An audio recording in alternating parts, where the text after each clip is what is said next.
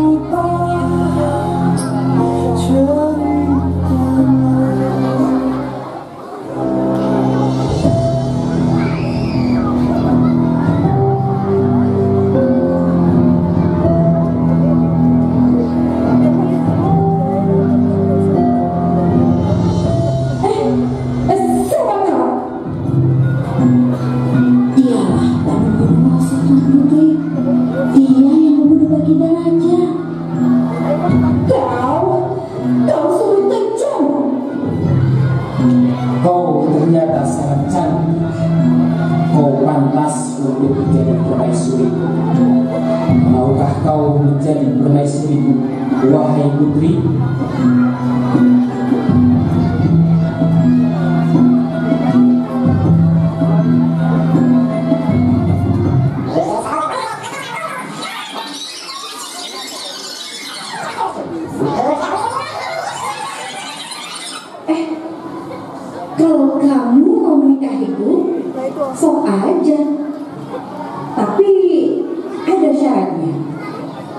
Hmm, apa syaratnya? Eh, kau harus membuatkanku seribu cantik. Dan itu harus sudah selesai saat matahari terbit. Baik, aku terima persyaratanmu itu.